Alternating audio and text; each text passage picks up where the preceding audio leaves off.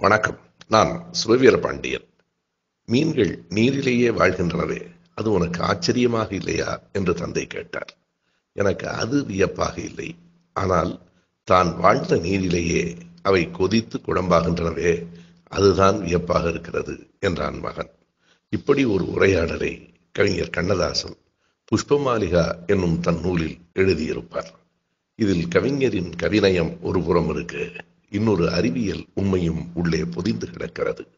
நீர் குழுமையாக இருக்கிற காரணத்தாலே தான் மீன்கள் அதில் வாழ்கின்றன. அந்த நீரே ஒவ்வொரு நாளும் சூடு ஏறிக்கொண்டே போகுமானால் அந்த நீரில் மீன்கள் இறந்து போவதற்கு வாய்ப்பு உண்டு. இது மீன்களுக்கு மட்டுமில்லை மனிதர்களுக்கும் பொருந்தும். இந்த நிலம் குழுமையாக இருப்பதால் தான் இந்த நிலத்தில் நாம் வாழ்ந்து கொண்டிருக்கிறோம். ஆனால் புவியினுடைய வெப்பம் கூடிக்கொண்டே போகிற போது இந்த நிலத்திலேயே நாம் மடிந்து விடுவதற்கும் வாய்ப்பு உண்டு. மரங்களை நடுவதன் மூலம் மட்டுமே நம் வாழ்க்கை என்றைக்கும் பசுமையாக இருக்கும். நன்றி. வணக்கம்.